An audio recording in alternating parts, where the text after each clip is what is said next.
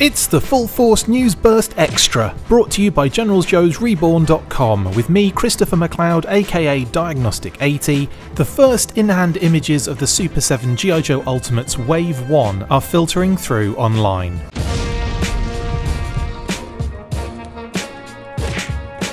With the first wave of Super 7 G.I. Joe Ultimates shipping out earlier this week, courtesy of a number of online retailers, we are getting our first in hand looks at some of the figures. Thanks to SoCal Rider99 and Destromeo1 on Twitter, we have seen Duke, Cobra Commander, and the Battle Android Trooper, and boy, do they look awesome. No sign of Snake Eyes and Timber just yet, but I'm sure it will only be a matter of time now. The figures themselves look great, and until we get more information regarding the articulation and quality, that's as far as it goes right now. All we can say say at this stage is that they look like they've just leapt off the screen from the Sunbow cartoon. The proportions look perfect, and I am loving that Duke head sculpt. The colours pop as you would expect, and the bat in particular is just phenomenal. They've also managed to capture that slender build of Cobra Commanders as he appeared in the show. Really impressed so far, and look forward to seeing more images of the figures, including Snake Eyes and Timber. You watch, they will drop as soon as I hit post. Anyway, what do you guys think? Happy with how they're looking so far? Who is your fave from this bunch?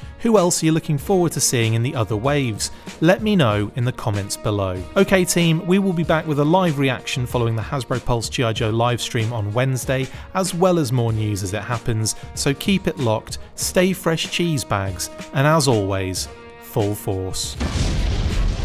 That's it for this instalment of the Full Force News Burst Extra. Thank you for watching, make sure to like, comment and subscribe. See you next time, and as always, full force.